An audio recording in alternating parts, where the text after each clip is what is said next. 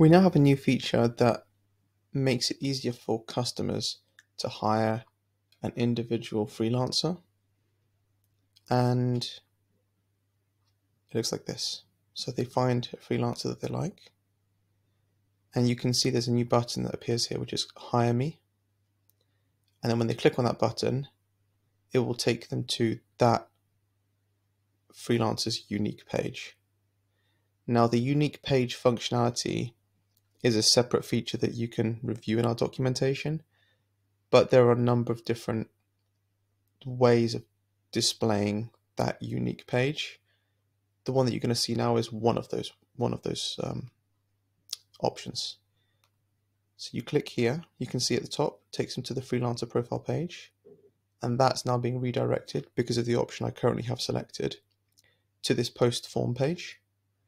And you can see at the top it says this default text post the job in seconds. And then here it's added for Jaya Freeman. And then they can post the job. And when they post the job, the job will be posted to all freelancers, uh, assuming that you don't post it privately.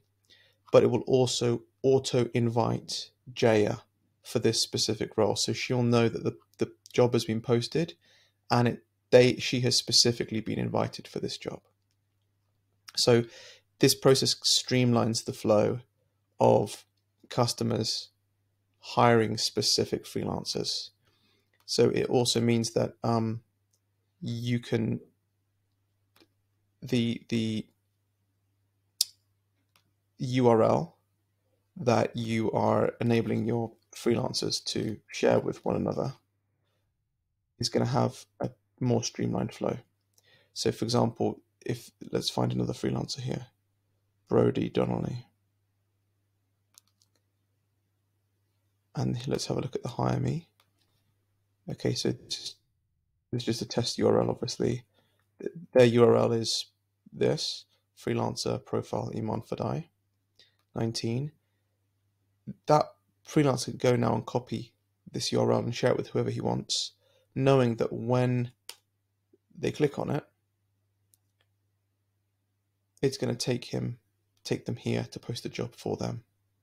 And the new hire me button just makes it easier from a front end perspective when customers are reviewing freelancers on any part throughout the whole site to post a job directly for them.